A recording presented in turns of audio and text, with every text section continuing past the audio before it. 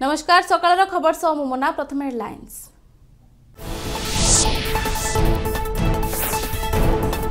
রাষ্ট্রপতি বাঁটিলে পদ্ম উপাধি ওড়শার চারিজন হয়েছেন গৌরবর অধিকারী দেশর শহে অঠাইশ জনক করা মনোনীত মার্চ অঠাইশে দ্বিতীয় নাগরিক সেবা সম্মান কার্যক্রম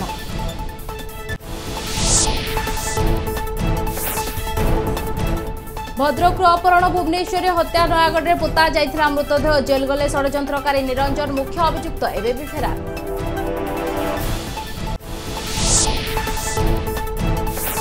ଚବିଶରେ ପଡ଼ିବ ପୌର ଭୋଟ। ମଙ୍ଗଳବାର ସରୁଛି ପ୍ରଚାର। ତିନିଟି ମହାନଗର ନିଗମ ଓ ଶହେ ଛଅ ପୌରାଞ୍ଚଳ ପ୍ରାର୍ଥୀଙ୍କ ଭାଗ୍ୟ ହେବ ସେଲ୍। ନିର୍ବାଚନ ଲାଗି ସରିଛି ସବୁ ପ୍ରସ୍ତୁତି କହିଲେ ସି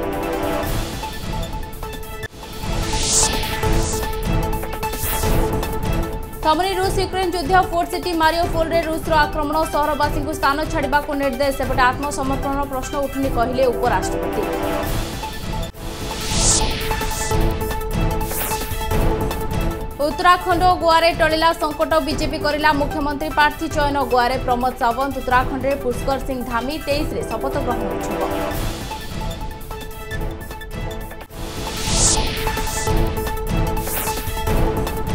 ଉତ୍ତପ୍ତ ବାୟୁ ହେବ ଘନୀଭୂତ ତେଇଶ ଯାଏ ହାଲୁକା ବର୍ଷାର ସମ୍ଭାବନା ଷୋହଳଟି ଜିଲ୍ଲାକୁ ଦିଆଯାଇଛି ସୂଚନା। ଆଞ୍ଚଳିକ ପାଣିପାଗ ବିଭାଗ ପକ୍ଷରୁ କରାଯାଇଛି ପୂର୍ବାନୁମାନ।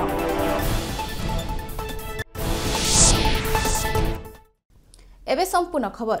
ରାଷ୍ଟ୍ରପତି ବାଣ୍ଟିଲେ ପଦ୍ମ ଉପାଧି ସମାଜ ପ୍ରତି ବିଭିନ୍ନ ବର୍ଗର ଉଲ୍ଲେଖନୀୟ ଅବଦାନ ପାଇଁ ଦେଶର ବିଶିଷ୍ଟ ବ୍ୟକ୍ତିଙ୍କୁ ସମ୍ମାନଜନକ ପଦ୍ମ ପୁରସ୍କାର ପ୍ରଦାନ କରିଛନ୍ତି ରାଷ୍ଟ୍ରପତି ରାମନାଥ କୋବିନ୍ଦ ରାଷ୍ଟ୍ରପତି ଭବନରେ ଆୟୋଜିତ ସ୍ୱତନ୍ତ୍ର କାର୍ଯ୍ୟକ୍ରମରେ ଏହି ପୁରସ୍କାର ପ୍ରଦାନ କରାଯାଇଛି ଏହି କ୍ରମରେ ତିନି ଜଣ ବିଶିଷ୍ଟ ଓଡ଼ିଆ ମଧ୍ୟ ପଦ୍ମ ପୁରସ୍କାରରେ ସମ୍ମାନିତ ହୋଇଛନ୍ତି ଜଗତସିଂହପୁରର ଆଧ୍ୟାତ୍ମିକ ଗୁରୁ ବାବା ବଳିଆ ଶାସ୍ତ୍ରୀୟ ସଙ୍ଗୀତ ଗାୟିକା ଶ୍ୟାମାମଣି ଦେବୀ ଓ ନରସିଂହ ପ୍ରସାଦ ଗୁରୁ ଏବଂ ବୈଜ୍ଞାନିକ ଆଦିତ୍ୟ ପ୍ରସାଦ ଦାସଙ୍କୁ ସୋମବାର ପଦ୍ମଶ୍ରୀ ସମ୍ମାନରେ ସମ୍ମାନ ସମ୍ମାନିତ କରିଛନ୍ତି ରାଷ୍ଟ୍ରପତି ରାମନାଥ କୋବିନ୍ଦ ଏଥିସହ ରାଷ୍ଟ୍ରପତି ରାମନାଥ ଜେନେରାଲ ବିପିନ ରାୱତଙ୍କୁ ମରଣୋତ୍ତର ଭାବେ ପଦ୍ମ ବିଭୂଷଣ ସମ୍ମାନରେ ସମ୍ମାନିତ କରିଛନ୍ତି ସୋମବାର ପ୍ରଥମ କାର୍ଯ୍ୟକ୍ରମରେ ରାଷ୍ଟ୍ରପତି କୋବିନ୍ଦ ଦୁଇଟି ପଦ୍ମ ବିଭୂଷଣ ଆଠଟି ପଦ୍ମଭୂଷଣ ସମେତ ମୋଟ ଚଉବନ ପଦ୍ମ ପୁରସ୍କାର ପ୍ରଦାନ କରିଛନ୍ତି ଚଳିତ ବର୍ଷର ମୋଟ ଶହେ ଅଠେଇଶ ଜଣଙ୍କୁ ପଦ୍ମ ପୁରସ୍କାର ମିଳିବା ନେଇ ଗଣତନ୍ତ୍ର ଦିବସରେ ଘୋଷଣା କରିଛନ୍ତି ଭାରତ ସରକାର। ଭଦ୍ରକରୁ ଅପହରଣ ଭୁବନେଶ୍ୱରରେ ହତ୍ୟା ଆଉ ନୟାଗଡ଼ରେ ପୋତା ଯାଇଥିଲା ମୃତଦେହ। କିଏ ରଚିଥିଲା ଷଡ଼ଯନ୍ତ୍ର? କାହିଁକି କରାଯାଇଥିଲା ଅପହରଣ? ହତ୍ୟା ପଛର ମାଷ୍ଟର ମାଇଣ୍ଡ କିଏ? ଏସବୁ ଘଟଣାକୁ ନେଇ ବେଶ୍ କିଛି ଦିନ ହେଲା ଗଣମାଧ୍ୟମର ପୃଷ୍ଠା ମଣ୍ଟନ କରିଛି ମାନସ ସ୍ୱାଇଁ ହତ୍ୟାକାଣ୍ଡ। ଯାହାର ଏବେ ଖୋଲିଛି ଗୁମର ଗିରଫ ହୋଇଛନ୍ତି ପାଞ୍ଚ ଜଣ। ହେଲେ ମୁଖ୍ୟ ଅଭିଯୁକ୍ତ କୁହାଯାଉଥିବା ଶର୍ମିଷ୍ଠା ରାଉତ ଏବେ ବି ଫେରାର ଅନ୍ୟପଟେ ଷଡ଼ଯନ୍ତ୍ରକାରୀ ନିରଞ୍ଜନ ସେଠୀ ଯାଇଛନ୍ତି ଜେଲ୍। ମାନସ ସ୍ୱାଇଁର ଘର ନୟାଗଡ଼ ଜିଲ୍ଲା ରଣପୁର ଅଞ୍ଚଳରେ କ୍ୟାମେରାମ୍ୟାନ୍ ଭାବେ କାର୍ଯ୍ୟ କରୁଥିଲେ ମାନସ। ସାମାନ୍ୟ ଫଟୋଗ୍ରାଫରକୁ କାହିଁକି କରାଗଲା ହତ୍ୟା ଯାହାକୁ ନେଇ ଚାନ୍ଦବାଲି ଏସ୍ଡିପିଓ କରିଥିଲେ ପ୍ରେସମିଟ୍ ଭୁବନେଶ୍ୱର ଦୟାଲ ଆଶ୍ରମର ସିସିଟିଭି ଫୁଟେଜ୍ ବୟାନ କରିଥିଲା ମାନସ ଉପରେ ହୋଇଥିବା ଅତ୍ୟାଚାରର କାହାଣୀ। ପୋଲିସ ଫୁଟେଜ୍ ଆଧାରରେ ତଦନ୍ତ ଆଗେଇଥିଲା ଆଉ ଦୁଇ ପାଦ। ଆଉ ଏବେ ଖୋଲିଛି ମାନସ ମିସ୍ତ୍ରୀ। ପୋଲିସ ଖୋଜି ପାଇବ କି ଶର୍ମିଷ୍ଠାଙ୍କୁ ନା ନିରଞ୍ଜନ ସେଠୀଙ୍କ ଗିରଫ ପରେ ହାତ ବାନ୍ଧି ବସିବ। ମାନସଙ୍କ ପରିବାରକୁ ମିଳିବ କି ନ୍ୟାୟ? ନା ତଦନ୍ତର ଆଢୁଆଳରେ ଲୁଚିଯିବ ମାନସ ମୃତ୍ୟୁର ଗୁମର। ଯାହାକି ସମୟ କହିବ। ଯେମିତିକି ଆପଣମାନଙ୍କୁ ଆଗରୁ ଆମେ ସୂଚନା ଦେଇଥିଲୁ ଯେ ଚାନ୍ଦବାଲି ଅଞ୍ଚଳରେ ଗୋଟେ ବିବାହ କାର୍ଯ୍ୟରେ ଫଟୋଗ୍ରାଫି କରିବା ପାଇଁ ଭିଡ଼ିଓଗ୍ରାଫି କରିବା ପାଇଁ ମାନସ ସ୍ୱାଇଁ ନାମକ ଜଣେ କ୍ୟାମେରାମ୍ୟାନ୍ ଆସିଥିଲେ ଏବଂ ତାଙ୍କୁ ଖବର ନେଇ ଏଠାରୁ ଚାନ୍ଦବାଲି ଅଞ୍ଚଳରୁ ସେମାନେ ଶର୍ମିଷ୍ଠା ରାଉତ ଏବଂ ତାଙ୍କ ସହିତ ଅନ୍ୟ ତାଙ୍କର ସହଯୋଗୀମାନେ ଆସିଥିଲେ ଏବଂ ତାଙ୍କୁ ଏଠୁ ନେଇଯାଇଥିଲେ। ଏହି ଘଟଣା ଉପରେ ଆମର ତଦନ୍ତ ଜାରି ରହିଥିଲା ଏବଂ ଗତ ବାର ତାରିଖ ଦିନ ଆମେ এই ঘটনার তদন্ত করে, সম্পৃক্তি জাঁলা পরে তিনজনক আমি গিরফ করবার সক্ষম হয়েছিল হ্যাঁ আমার যেত এবে সুদ্ধা আমার পাখে যা প্রমাণ বা তথ্য রয়েছে সে সেটি উপস্থিত লে এবং সে মানস স্বয়ংকু নির্যাতনা দেবার মাড় মারিবার সে ভূমিকা লা পৌর নির্বাচনে রাজ্য নির্বাচন আয়োগ প্রস্তুতি শেষ পর্যায়ে পৌঁছিছে নির্বাচনকে শৃঙ্খলিত করা লাগি ব্যাপক সুরক্ষা ব্যবস্থা হাতক নিয়েছেন নির্বাচন আয়োগ ଶୃଙ୍ଖଳିତ ନିର୍ବାଚନ ପାଇଁ ଶହେ ପଞ୍ଚାନବେ ପ୍ଲାଟୁନ୍ ପୁଲିସ ଫୋର୍ସ ନିୟୋଜିତ ହେବେ। ଏନେଇ ସାମ୍ବାଦିକ ସମ୍ମିଳନୀରେ ସୂଚନା ଦେଇଛନ୍ତି ରାଜ୍ୟ ନିର୍ବାଚନ ଆୟୋଗ ଆଦିତ୍ୟ ପ୍ରସାଦ ପାଢ଼ୀ। ଭୁବନେଶ୍ୱର ମହାନଗର ନିଗମ ପାଇଁ ତିରିଶ ପ୍ଲାଟୁନ୍ କଟକ ମହାନଗର ନିଗମ ପାଇଁ କୋଡ଼ିଏ ପ୍ଲାଟୁନ୍ ଏବଂ ବ୍ରହ୍ମପୁର ମହାନଗର ନିଗମ ପାଇଁ ଦଶ ପ୍ଲାଟୁନ୍ ପୁଲିସ ଫୋର୍ସ ରହିବେ ଏହା ବ୍ୟତୀତ ମୋଟ ତିନିଶହ ମୋବାଇଲ ପାର୍ଟି ରହିବେ। ଏଥିମଧ୍ୟରୁ ଶହେ ନଅ ମୋବାଇଲ ପାର୍ଟି ତିନି ମହାନଗର ନିଗମ ପାଇଁ କାର୍ଯ୍ୟ କରିବେ। ପ୍ରତ୍ୟେକ ବୁଥରେ ଜଣେ ଜଣେ କନେଷ୍ଟବଳ ହାବିଲଦାର କିମ୍ବା ସଶସ୍ତ୍ର ପୋଲିସ ରହିବେ। ସମ୍ବେଦନଶୀଳ ଅଥବା ଅତି ସମ୍ବେଦନଶୀଳ ବୁଥରେ ଜଣେ ଜଣେ ହାବିଲଦାର କିମ୍ବା କନେଷ୍ଟବଳ ସହ ଆଉ ଜଣେ ସଶସ୍ତ୍ର ପୋଲିସ ରହିବେ। ୟୁକ୍ରେନ୍ ଫୋର୍ଟ ସିଟି ମାରିଓପୋଲ ଉପରେ ରୁଷ ଜାରି ରଖିଛି ଆକ୍ରମଣ। ଲଗାତାର ବୋମା ବର୍ଷଣ କରୁଥିବା ବେଳେ ସହରବାସୀଙ୍କୁ ସହର ଛାଡ଼ିବାକୁ କହିଛି ତେବେ ମାରିଓପୋଲବାସୀ ଆତ୍ମସମର୍ପଣ କରିବେ ନାହିଁ ବୋଲି କହିଛନ୍ତି ୟୁକ୍ରେନ୍ ଉପରାଷ୍ଟ୍ରପତି। ଛବିଶ ଦିନରେ ପହଞ୍ଚିଛି ରୁଷ ଓ ୟୁକ୍ରେନ୍ ମଧ୍ୟରେ ଯୁଦ୍ଧ। ତଥାପି ଥମିବାର ନାଁ ନେଉନି ବିବାଦ। ଦୁଇ ରାଷ୍ଟ୍ର ମଧ୍ୟରେ ଆଲୋଚନା ହୋଇଥିଲେ ମଧ୍ୟ ବାହାରି ପାରୁନି ନିଷ୍କର୍ଷ। ଫଳରେ ଆହୁରି ତୀବ୍ର ହେଉଛି ଦୁଇ ରାଷ୍ଟ୍ର ମଧ୍ୟରେ ଯୁଦ୍ଧ। ଏହାରି ମଧ୍ୟରେ ୟୁକ୍ରେନ୍ର ପ୍ରମୁଖ ସହର ମାରିଓପୋଲରେ ୟୁକ୍ରେନ୍ ସେନା ଆତ୍ମସମର୍ପଣ କରିଥିବା ରୁଷ ଦାବି କରୁଥିବା ବେଳେ ଏହାକୁ ଖଣ୍ଡନ କରିଛନ୍ତି ୟୁକ୍ରେନ୍ ଉପପ୍ରଧାନମନ୍ତ୍ରୀ Iryna Vereshchuk. Port city Mariupol ଉପରେ ରୁଷ କବ୍ଜା କରିବାକୁ ଜାରି ରଖିଛି ପ୍ରୟାସ। ଉତ୍ତରାଖଣ୍ଡ ଓ ଗୋଆରେ ଟଳିଲା ସଙ୍କଟ ବିଜେପି କରିଲା ମୁଖ୍ୟମନ୍ତ୍ରୀ ପ୍ରାର୍ଥୀ ଚୟନ। ଗୋଆରେ ପ୍ରମୋଦ ସାୱନ୍ତ ଉତ୍ତରାଖଣ୍ଡରେ ପୁଷ୍କର ସିଂ ଧାମୀଙ୍କ ନାଁରେ ମାରିଛି ମୋହର। ତେଇଶରେ ଶପଥ ଗ୍ରହଣ ଉତ୍ସବ। ପ୍ରମୋଦ ସାୱନ୍ତ ଗୋଆ ବିଜେପି ବିଧାୟକ ଦଳ ନେତା ନିର୍ବାଚିତ। ମୁଖ୍ୟମନ୍ତ୍ରୀ ଦାୟିତ୍ୱ ପାଇଁ ପ୍ରଧାନମନ୍ତ୍ରୀ ଓ ଗୋଆବାସୀଙ୍କୁ ଦେଲେ ଧନ୍ୟବାଦ। ଆନୁଷ୍ଠାନିକ ଘୋଷଣା କଲେ କେନ୍ଦ୍ରୀୟ ପର୍ଯ୍ୟବେକ୍ଷକ ଦାୟିତ୍ୱରେ ଥିବା କେନ୍ଦ୍ରମନ୍ତ୍ରୀ ନରେନ୍ଦ୍ର ସିଂ ତୋମାର। ରାଜ୍ୟବାସୀ ତାଙ୍କୁ ଆଉ ଥରେ ସୁଯୋଗ ଦେଇଥିବାରୁ ସେ କୃତଜ୍ଞତା ଜଣାଇଛନ୍ତି। ସେ ଗୋଆର ବିକାଶ ପାଇଁ ସବୁ ପ୍ରକାର ପ୍ରୟାସ ଜାରି ରଖିବେ ବୋଲି କହିଛନ୍ତି। ସେପରି ଉତ୍ତରାଖଣ୍ଡର କାମଚଳା ମୁଖ୍ୟମନ୍ତ୍ରୀ ପୁଷ୍କର ସିଂ ଧାମୀ ହେବେ ନୂତନ ମୁଖ୍ୟମନ୍ତ୍ରୀ। ବିଜେପି ବିଧାୟକ ଦଳ ବୈଠକରେ ଧାମୀଙ୍କ ନାମରେ ମୋହର ଲାଗିଛି। ମୁଖ୍ୟମନ୍ତ୍ରୀ ପଦ ନେଇ ଚିତ୍ର ସ୍ପଷ୍ଟ ହୋଇଛି ତେଇଶରେ ନୂତନ ମୁଖ୍ୟମନ୍ତ୍ରୀଙ୍କ ଶପଥ ଗ୍ରହଣ ସମାରୋହ ଅନୁଷ୍ଠିତ ହୋଇପାରେ। ଧାମୀଙ୍କ ନେତୃତ୍ୱରେ ଦଳ ଚଳିତ ବିଧାନସଭା ନିର୍ବାଚନ ଲଢ଼ିଥିଲା କିନ୍ତୁ ସେ ନିର୍ବାଚନ ହାରିଥିଲେ। ଧାମୀଙ୍କ ହାରିବା ପରେ ମୁଖ୍ୟମନ୍ତ୍ରୀ ପଦ ନେଇ ଦ୍ୱନ୍ଦ୍ୱ ଆରମ୍ଭ ହୋଇଥିଲା ହେଲେ ଧାମୀକୁ ପୁଣି ଭରସା କରିଛି ଦଳ। ଆଠ ଫୁଟ ଲମ୍ବା କୁମ୍ଭୀରର ମୃତଦେହ ଉଦ୍ଧାର। ହରଭଙ୍ଗା ବ୍ଲକ ବୌଦ୍ଧ ବନଖଣ୍ଡ Madhapur range Talagaon forest section ଡମଚୋକ ଡ୍ୟାମ୍ରେ ରବିବାର ଏକ ଆଠ ଫୁଟ ଲମ୍ବର କୁମ୍ଭୀର ମୃତଦେହ ଉଦ୍ଧାର ହୋଇଛି। ସ୍ଥାନୀୟ କିଛି ମହିଳା କୁମ୍ଭୀର ମୃତଦେହକୁ ଦେଖି ବନ କର୍ମଚାରୀଙ୍କୁ ଖବର ଦେଇଥିଲେ। ଖବର ପାଇ ବନ କର୍ମଚାରୀ ଓ ମାଧପୁର ରେଞ୍ଜ ଅଧିକାରୀ ମୃତ କୁମ୍ଭୀରକୁ ଉଦ୍ଧାର କରିଥିଲେ। କୁମ୍ଭୀରଟିର ମୃତ୍ୟୁ କେଉଁ କାରଣରୁ ହୋଇଛି ତାହା ଜଣାପଡ଼ିନାହିଁ। ମୃତ କୁମ୍ଭୀରର ବୟସ ଚାଳିଶ ବର୍ଷରୁ ଉର୍ଦ୍ଧ୍ୱ ହେବ ବୋଲି ଡିଏଫ୍ଓ ଦେବବ୍ରତ କମ୍ପୋ ସୂଚନା ଦେବା ସହିତ ଡ୍ୟାମ୍କୁ ବିନା ଅନୁମତିରେ ପ୍ରବେଶ କରିବା ପାଇଁ ବାରଣ କରାଯାଇଛି। କୁମ୍ଭୀର ଯାହା ଲେନ୍ଥ ଆଉ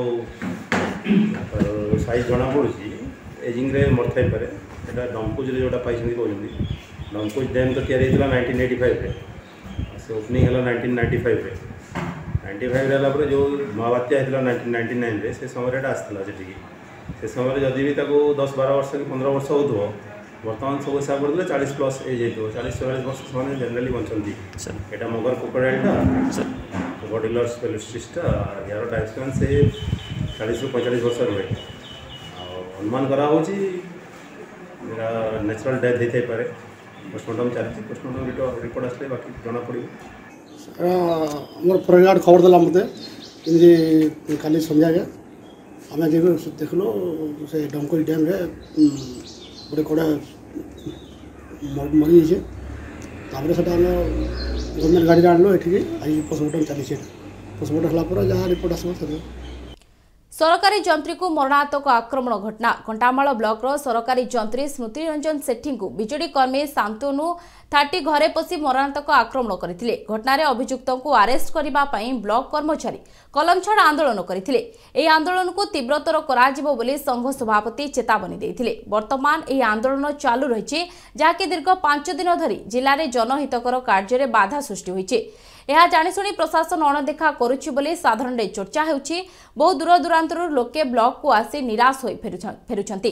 ଅପରାଧୀକୁ ଧରି ଦଣ୍ଡ ଦେବାକୁ ଦାବି କରିଛନ୍ତି ହରଭଙ୍ଗାବାସୀ ପୁଣି ପଟ୍ଟାମୁଣ୍ଡେଇରେ ରାଜନୈତିକ ହିଂସା। ସମିତି ସଭ୍ୟଙ୍କ ଭାଇକୁ କରାଯାଇଛି ମରଣାନ୍ତକ ଆକ୍ରମଣ। ଗୁରୁତର ଅବସ୍ଥାରେ ମେଡିକାଲରେ ହୋଇଛନ୍ତି ଭର୍ତ୍ତି। ଦେହର ଅନେକ ସ୍ଥାନରେ ଲାଗିଛି ଗଭୀର ଆଘାତ। ଏଭଳି ଘଟଣା ଘଟିଛି ପଟ୍ଟାମୁଣ୍ଡେଇ ନରସିଂହପୁର ପଞ୍ଚାୟତରେ। ପଞ୍ଚାୟତର ସମିତି ସଭ୍ୟଙ୍କ ଭାଇ ଅନନ୍ତ ବେହେରା ରାସ୍ତାରେ ଯାଉଥିବା ବେଳେ ଦୁର୍ବୃତ୍ତମାନେ ମରଣାନ୍ତକ ଆକ୍ରମଣ କରିଥିଲେ। ତିନି ଦୁର୍ବୃତ୍ତ ଏକ ନାଲି ରଙ୍ଗର ଆପାଚିରେ ଆସି ଅନନ୍ତକୁ ଆକ୍ରମଣ କରିଥିଲେ। ସ୍ଥାନୀୟ ଲୋକେ ଘେରିଯିବାରୁ ଦୁର୍ବୃତ୍ତମାନେ ପଳାଇ ଯାଇଥିଲେ। ଲୋକମାନେ ଗୁରୁତର ଅବସ୍ଥାରେ ମେଡିକାଲକୁ ନେଇଥିଲେ। ଖବର ପାଇ ପୋଲିସ ଘଟଣାର ତଦନ୍ତ କରୁଛି। ତ ମୁଁ ଯାଉଥିଲି ମଟସାଇ ରାସ୍ତା ପାଖରେ। ମୋତେ ପଚାରିଲେ ତିନି ଜଣ ପିଲା ଆସିଲେ ଆ, ନାଲି ଆପାଚିରେ ଆସିଥିଲେ। ଜଣେ ଫାଷ୍ଟ ଯିଏ ଚଲାଉଥିଲା ତା ମୁହଁରେ ହେଲମେଟ୍ ପିନ୍ଧିଛି ଆଉ ଦୁଇ ଜଣ ମାସ୍କ ପିନ୍ଧିଛନ୍ତି। ମୋତେ ସେଠୁ ପଚାରିଲେ ଭାଇ ଗଣ୍ଡାକିଆ ରାସ୍ତା କେଉଁଟା? ମୁଁ ସେଠୁ ତାଙ୍କୁ ନେଇକିରି ଗଲି। ମୁଁ କହିଲି ଆସ ଏଇପଟୁ ରାସ୍ତାଟା। ତା ଭିତରେ ସେଠି ପଞ୍ଛା ହାତରେ ପିନ୍ଧିଥିଲେ ମୋ ପେଟକୁ ନେଇ ପ୍ରଥମ ମାଇଲେ। ମୋ ପଛରେ ଲୋକ ସେଠି ଘର ଥିଲା ଶହେ ମିଟର ଦୂରରେ ଘର ଲୋକ ଦେଖୁଛନ୍ତି। ହେ ହେ କରିବା ଭିତରେ ସେମାନେ ସବୁ ଦୌଡ଼ା ଦୌଡ଼ି ହେଇ ପଳେଇବା ଭିତରେ ସେମାନେ ଲୋକ ଦୌଡ଼ା ଦୌଡ଼ି ହେଇକିରି ମୋତେ ଯାଇକିରି ସବୁ ଉଠେଇକିରି ମେଡ଼ିକାଲ ପଠେଇଲେ। ଆମେ ବହୁତ ଗରିବ ଲୋକ କିନ୍ତୁ ଆମେ ଉଁ, ସେମାନେ ଲୋକ ଭାବିନଥିଲେ ଆମେ ଏତେ ଭୋଟ୍ରେ ହଜାର ଭୋଟ୍ରେ ୱିନ୍ କରିବୁ ବୋଲି ସେମାନଙ୍କର ସେଥିପାଇଁ ରାଗ ମୋ ଉପରେ। ଆମେ ତ ଗାଁରେ ଥିଲୁ ତ ଭାଇ ଆସିଥିଲେ ମାର୍କେଟ ଆସିଥିଲେ ଏବଂ ବ୍ଲକକୁ ଆସିଥିଲେ। ଆମକୁ ଫୋନ୍ କରିବା ସଡ଼ନ୍ଲି ଫୋନ୍ ଗଲା ଦୁଇଟା ସାତଟା ବେଳେ ଯେ ବାଟରେ ଅଜଣା ଲୋକ ଆଟାକ୍ କରିଛନ୍ତି ମୋତେ ମୋତେ ମାରିଦେଲେ ଗୋଟେ ବୁଝାଲି କ'ଣ ଏମିତି କ'ଣ ମରଣାସ୍ତ୍ର ମାରିଲେ ଫୋନ୍ କରି ମୁଁ ତୁ କେଉଁଠି ଅଛୁ ନା? ମର୍ସାଇରେ ଅଛି ଯାଉଛି। ମୁଁ କହିଲି ତୋ ପାଖରେ କିଏ ଅଛି ନା କେହି ନାହାନ୍ତି। ମୁଁ କହିଲି ମେଡ଼ିକାଲ କ'ଣ ଯାଇପାରିବି କହିଲା ମୁଁ ଯାଉଛି ମେଡ଼ିକାଲ ସେ ଆସି ମେଡ଼ିକାଲ ପହଞ୍ଚିଲା ମୁଁ ତ ରାସ୍ତା ଆସିଲି ମେଡ଼ିକାଲ ହେଇ ପଛ ପଛ ଏବେ ସମୟ ହେଇଛି ଏକ ବ୍ରେକ୍ର ବ୍ରେକ୍ ପରେ ଖବର ଜାରି ରହିବ। ଡାଲି କି ଡାଲମାରେ ଛୁଙ୍କ ଯେମିତି ଏକ ନିଆରା ସ୍ୱାଦ ଆଣିଦିଏ ସେମିତି ବ୍ୟସ୍ତବହୁଳ ଜୀବନରେ ଖବର ଭିତରୁ କିଛିଟା ମନୋରଞ୍ଜନ ଭିଡ଼ିଓ ଦେଖେଇ ଆପଣଙ୍କ ଜୀବନରେ ଟିକେ ହାଲକା କି ଛୁଙ୍କ ଦେଇ ଆପଣଙ୍କ ମୁହଁରେ ଟିକେ ହସ ଫୁଟେଇବା ପାଇଁ ନ୍ୟୁଜ୍ ଏଇଟ୍ ଓଡ଼ିଆରେ ଏକ ନିଆରା ଉଦ୍ଦେଶ୍ୟ। ମୁଁ ଅସିତ ଖୁବ୍ ଶୀଘ୍ର ନେଇ ଆସୁଛି କେବଳ ଆପଣମାନଙ୍କ ପାଇଁ ମଜାଦାର ଭିଡ଼ିଓର ଛୁଙ୍କ ନ୍ୟୁଜ୍ ଏଇଟ୍ ଓଡ଼ିଆର ଏକ ଭିନ୍ନ ସ୍ୱାଦର କାର୍ଯ୍ୟକ୍ରମ ଯାହାର ନାଁ ହେଉଛି ଛୁଙ୍କ। ବ୍ରେକ୍ ପରେ ସ୍ୱାଗତ। ଚାନ୍ଦବାଲି ଏନ୍ଏସିରେ ବିଜେପିର ଏକ ମେଗା ମୋଟର ସାଇକେଲ ରାଲି। ହଜାର ହଜାର ଲୋକଙ୍କୁ ନେଇ ବିଶାଳ ଶୋଭାଯାତ୍ରା କରାଯାଇଛି। ଶାସକ ଦଳକୁ ଚେକ୍ ଦେବା ପାଇଁ ଷ୍ଟାର କ୍ୟାମ୍ପେନ୍ ଭାବେ ଥିଲେ ସିନେତାରକା ଅଶ୍ରୁମୋଚନ ମହାନ୍ତି ଓ ପୂର୍ବତନ ରାଜସ୍ୱ ମନ୍ତ୍ରୀ ମନମୋହନ ସାମଲ। ଶୋଭାଯାତ୍ରାରେ ହୋଇଥିଲେ ସାମିଲ ମନସ୍ମିତା ଖୁଣ୍ଟିଆ ମାଳତୀଲତା ସାହୁଙ୍କ ଲାଗି କରାଯାଇଥିଲା କ୍ୟାମ୍ପେନ୍। ଚାନ୍ଦବାଲି ଏନ୍ଏସିରେ ହୋଇଥିବା ବହୁ ଦୁର୍ନୀତିକୁ ପାଥେୟ ଓ ଡ୍ରେନେଜ ସମସ୍ୟା ଶିକ୍ଷା ଓ ସ୍ୱାସ୍ଥ୍ୟ ସମସ୍ୟାକୁ ଆଧାର କରି ଆଜି ପନ୍ଦରଟି ୱାର୍ଡରେ ଭୋଟରଙ୍କ ନିକଟରେ ପହଞ୍ଚିଥିଲେ। ये ଏନ୍ଏସ୍ସି ନିର୍ବାଚନରେ ଲୋକ ସମର୍ଥନ ବ୍ୟାପକ ରୂପ ମିଳିଛି ଏବଂ ନିଶ୍ଚିତ ଭାବରେ ଆମ ଚେୟାରମ୍ୟାନ୍ ଏବଂ ସମସ୍ତ କାଉନସିଲର ନିର୍ବାଚିତ ହେବେ ଏ ଦୃଢ଼ ବିଶ୍ୱାସ ମୋର ଅଛି ଲୋକମାନଙ୍କ ଆସ୍ଥା ବିଶ୍ୱାସକୁ ନେଇ ଆମେ ନିର୍ବାଚନ ଲଢ଼ୁଛୁ ଏ ବିଜୟ ଲୋକମାନଙ୍କର ଲୋକମାନଙ୍କର ବିଜୟ ହେବ ଏବଂ ଏ ନିର୍ବାଚନ ଗୋଟେ ଦୀର୍ଘ ବର୍ଷର ଅସନ୍ତୋଷ ଭ୍ରଷ୍ଟାଚାର ଦୁର୍ନୀତି ବିରୁଦ୍ଧରେ ଭୋଟ ହେବ ଏବଂ ଏ ପରିବର୍ତ୍ତନ ପାଇଁ ଭୋଟ ହେବ ଆସିଲା ବେଳଠୁ ଦେଖୁଛି ପଦ୍ମ ଫୁଲ ଚାରିଆଡେ ଫୁଟୁଛି ଆଉ ସବୁ ମଉଳି ଗଲେଣି ଭାବନା ଅଛି ସେଇଆ ଯେ ଫୁଟିବ ହିଁ ଫୁଟିବ ପଦ୍ମ ଫୁଲ ଫୁଟିବ। ଆକ୍ଚୁଆଲି ବହୁତ ଖୁସି ଲାଗୁଛି ଏତେ ସାରା ଲୋକଙ୍କର ଭଲ ପାଇବା ଆଶୀର୍ବାଦ ଅଛି ବହୁତ ଏତେ ଲୋକ ଆମ ସହିତ ଅଛନ୍ତି ସେଇଟା ବେଶୀ ଖୁସି ଲାଗୁଛି ଆଉ ଆଗକୁ ନିଶ୍ଚୟ ଯିବ। ପ୍ରାକ୍ତନ ସରପଞ୍ଚଙ୍କ ନାଁରେ ହତ୍ୟା ଧମକ ଅଭିଯୋଗ। କୁଆଖିଆ ଥାନାରେ ଅଭିଯୋଗ କରିଛନ୍ତି ଭିନ୍ନକ୍ଷମ ଦୁର୍ଗା ପ୍ରସନ୍ନ ପାଣିଗ୍ରାହୀ। ଅଭିଯୋଗ କରିବା ପରେ ଚର୍ଚ୍ଚା ଜୋରେ ଧରିଛି ପ୍ରାକ୍ତନ ସରପଞ୍ଚ। ସୁଶାନ୍ତ ଅଭିଯୋଗକାରୀଙ୍କ ଘରେ ପଶି ଜୀବନରୁ ମାରିଦେବାକୁ ଧମକ ଦେଇଥିଲେ। ଯାହାର ଅଡିଓ ଏବେ ଘୁରି ବୁଲୁଛି ମୋବାଇଲରୁ ମୋବାଇଲକୁ ହେଲେ ସେପଟେ ପୋଲିସ ନେଉନି କିଛି ଆକ୍ସନ ଯାହାକୁ ନେଇ ସାଧାରଣରେ ସୃଷ୍ଟି ହୋଇଛି ଅସନ୍ତୋଷ। କୁଆଖିଆ ଥାନା ରାଜେନ୍ଦ୍ରପୁର ପଞ୍ଚାୟତରେ ଦୁଇ ହଜାର ସତରରୁ ସୁଶାନ୍ତ ସରପଞ୍ଚ ଥିଲେ।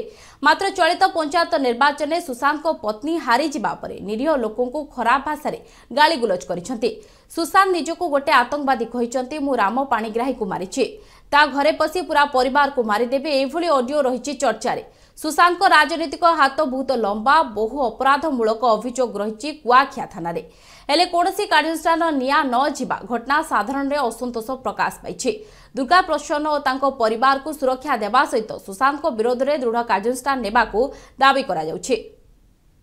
ତା କଥା ତ ଉଣା ଅଧିକ ଥାନା କ'ଣ ବ୍ଲକ କ'ଣ ଏ ଅଞ୍ଚଳବାସୀ ଜାଣିଛନ୍ତି ସେ ଯେ କେଉଁ ଧରଣର ଆସାମୀ ତାକୁ ଉଣା ଅଧିକ ସମସ୍ତେ ଜାଣିଛନ୍ତି ତାର କେତେ କ୍ରାଇମ୍ ଅଛି ଥାନାରେ ବି ଅଦ୍ୟାବଧି ଲିଖିତ ଅଭିଯୋଗ ଆଉ ମକଦ୍ଦମା ବି ମଧ୍ୟ ରୁଜୁ ଅଛି।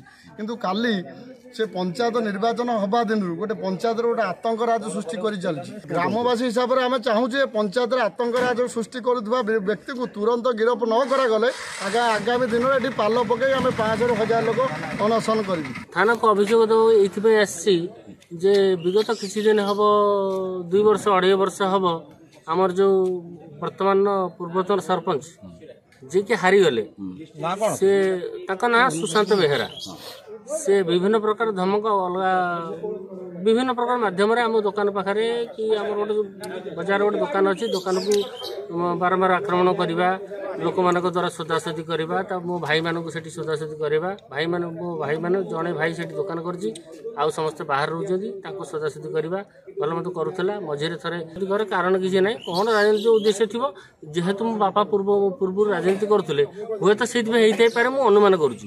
ଆମ ସହିତ ଲାଗିଛି ମାନେ ଆମକୁ ଜୀବନରୁ ମାରିଦେବ। ଆମ ବାପାଙ୍କୁ ମାରି ଦେଇଛି ବୋଲି ନିଜେ ସ୍ୱୀକାର କରିଛି। ମୋ ବାପା ହଠାତ୍ ଚାଲିଗଲେ। କିନ୍ତୁ ଆମେ ଜାଣିନଥିଲୁ କ'ଣ ପାଇଁ ଚାଲିଗଲେ। ହଁ କ'ଣ ହେଇଥିବ ଦେହ ପା ଖରାପ ହେଇଥିଲେ ଚାଲିଗଲେ। କିନ୍ତୁ ଆମେ ଜାଣିନଥିଲୁ ଯେ ସେମାନେ ତା- ସେ ତା- ମାରିବାର ତାଙ୍କ ତାର ହାତ ଅଛି ବୋଲି। ଏ ଯେଉଁ ଅଭିଯୋଗ ଯେ ପୁରା ସତ୍ୟତା ଆସ- ଆସନ୍ତା କାଲି ଆମର ସେ ଗ୍ରା- ପଞ୍ଚାୟତର ଗୋଟେ ଟୁକୁ ବୋଲି ଜଣଙ୍କ ନାଁ ତାଙ୍କ ମୋବାଇଲକୁ ସେ ଧମକପୂର୍ଣ୍ଣ ମାନେ ଗୋଟେ ଭଏସ୍ କଲ୍ ରେକର୍ଡ଼ିଂ ଦେଇଛି ଯିଏକି ମୋତେ ବି ସୋଦାସୋଦି କରୁଛି। ସେ ଯେଉଁ ଆମ ପ୍ରସନ୍ନ ତାଙ୍କ ବାପା ଫାପାକୁ ମାରିଛି ବୋଲି ମାନେ ସ୍ୱୀକାର କରୁଛି ଆଉ ମୋର କେହି କିଛି କ- କରିପାରିବେନି ମୁଁ ଗୋଟେ ଆତଙ୍କବାଦୀ ଅଟେ। ଏମିତି ସମ ମାନେ ସାରା ପଞ୍ଚାୟତ ଲୋକମାନଙ୍କୁ ଧମକ ଚମକ ଦେଇଛି। ଆମେ ଚାହୁଁଛୁ ଆଜ୍ଞା ସେଇ ସେଇ ଲୋକଟାକୁ କଠିନରୁ କଠିନ ଶାସ୍ତି ଦେଇକି ତୁରନ୍ତ ଆରେଷ୍ଟ କରାଯାଉ। ବ୍ୟାଗ୍ ଚିରାରୁ ଛୁରାମାଡ଼ ବ୍ୟାଗ୍ ଚିରାକୁ ନେଇ ଛାତ୍ର ଓ ସହପାଠୀଙ୍କ ମଧ୍ୟରେ ଛୁରାମାଡ଼ ହୋଇଛି। ଏଭଳି ଏକ ଘଟଣା ନୟାଗଡ଼ ଗଣିଆ କିଶୋର ଚନ୍ଦ୍ର ସରକାରୀ ଉଚ୍ଚ ବିଦ୍ୟାଳୟରେ ଦେଖିବାକୁ ମିଳିଛି। ସୋମବାର ବିଦ୍ୟାଳୟରେ ବ୍ୟାଗ୍ ଚିରାକୁ ନେଇ ଷଷ୍ଠ ଶ୍ରେଣୀର ଦୁଇ ଛାତ୍ରଙ୍କ ମଧ୍ୟରେ ଝଗଡ଼ା ହୋଇଥିଲା। ଶିକ୍ଷକ ଆସି ଦୁଇ ଜଣଙ୍କୁ ତାଗିଦ କରିଥିଲେ ସ୍କୁଲ ଛୁଟି ହେବା ପରେ। ଜଣେ ଛାତ୍ର ବାହାରକୁ ଆସି ସହପାଠୀକୁ ଛୁରା ମାଡ଼ କରିଥିଲା। ସେଠାରୁ ସଙ୍ଗେ ସଙ୍ଗେ ତାଙ୍କୁ ଗଣିଆ ଗୋଷ୍ଠୀ ସ୍ୱାସ୍ଥ୍ୟ କେନ୍ଦ୍ରକୁ ଆଣିଥିଲେ। ସେଠାରେ ଡାକ୍ତର ପ୍ରାଥମିକ ଚିକିତ୍ସା କରି ଘରକୁ ଛାଡ଼ି ଦେଇଥିଲେ। ନବରଙ୍ଗପୁର ଗସ୍ତରେ ପୋଲିସ ଡିଜି ସୁନୀଲ ବଂଶ special DG ASP Manoj Chhabra IG operation Amitabh Thakur ଏବଂ ଅନ୍ୟାନ୍ୟ ବରିଷ୍ଠ ପୁଲିସ ଅଧିକାରୀ ମଧ୍ୟ ଗସ୍ତ କରିଥିଲେ। ଏହି ଅବସରରେ ଜିଲ୍ଲା ଆରକ୍ଷୀ ଅଧୀକ୍ଷକଙ୍କ କାର୍ଯ୍ୟାଳୟରେ ଜିଲ୍ଲାର ଆଇନ ଶୃଙ୍ଖଳା ଏବଂ ମାଓବାଦୀ ଗତିବିଧି ସମ୍ପର୍କରେ ଉଚ୍ଚସ୍ତରୀୟ ଆଲୋଚନା କରିଥିଲେ। ଏହି ଅବସରରେ ଗତ ପଞ୍ଚାୟତ ନିର୍ବାଚନରେ ଜିଲ୍ଲାର ଶାନ୍ତି ଶୃଙ୍ଖଳା ସହ ଶେଷ ହୋଇଥିବା ବେଳେ ଆଗାମୀ ପୌର ନିର୍ବାଚନରେ କିଭଳି ଶାନ୍ତି ଶୃଙ୍ଖଳା ସହ ନିର୍ବାଚନ ଶେଷ ହେବ ସେ ନେଇ ଜିଲ୍ଲା ଆରକ୍ଷୀ ଅଧୀକ୍ଷକଙ୍କ ସହ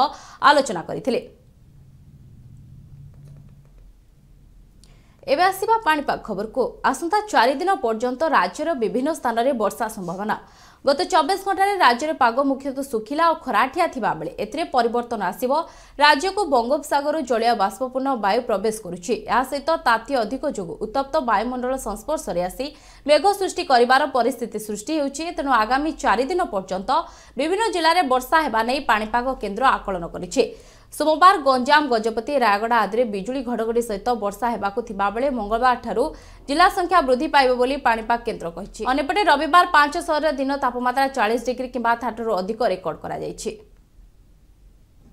ବୁଲେଟିନ୍ ଶେଷରେ ପୁଣି ଥରେ ହେଡଲାଇନ୍ସ।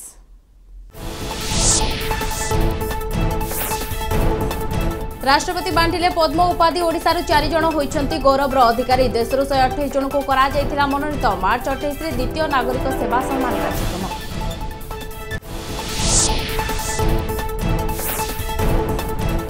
ভদ্রকর অপহরণ ভুবনেশ্বরে হত্যা নয়াগড়ে পোতা যাই মৃতদেহ জেল গলে ষড়যন্ত্রকারী নিরঞ্জন মুখ্য অভিযুক্ত এবে ফেরার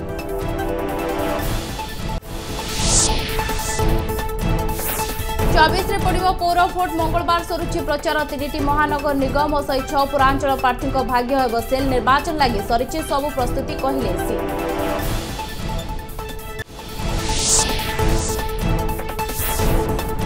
ଥମନି ରୁଷ ୟୁକ୍ରେନ୍ ଯୁଦ୍ଧ ଫୋର୍ଟ ସିଟି ମାରିଓପୋଲରେ ରୁଷର ଆକ୍ରମଣ ସହରବାସୀଙ୍କୁ ସ୍ଥାନ ଛାଡ଼ିବାକୁ ନିର୍ଦ୍ଦେଶ ସେପଟେ ଆତ୍ମସମର୍ପଣର ପ୍ରଶ୍ନ ଉଠୁନି କହିଲେ ଉପରାଷ୍ଟ୍ରପତି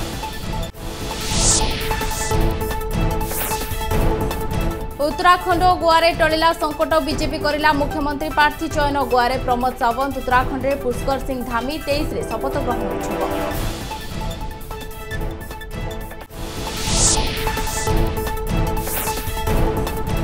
ଉତ୍ତପ୍ତ ବାୟୁ ହେବ ଘନୀଭୂତ ତେଇଶ ଯାଏ ହାଲୁକା ବର୍ଷାର ସମ୍ଭାବନା ଷୋହଳଟି ଜିଲ୍ଲାକୁ ଦିଆଯାଇଛି ସୂଚନା। ଆଞ୍ଚଳିକ ପାଣିପାଗ ବିଭାଗ ପକ୍ଷରୁ କରାଯାଇଛି ପୂର୍ବାନୁମାନ।